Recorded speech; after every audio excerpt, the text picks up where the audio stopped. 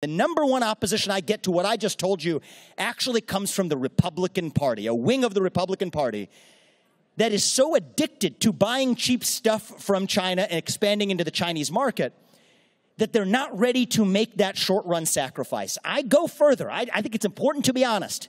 If we want to declare independence from China, that means we got to be willing to ban most US businesses from doing business in China until the CCP falls or until the CCP radically reforms itself. Because there is no easy way out other than taking that band aid and ripping it right off.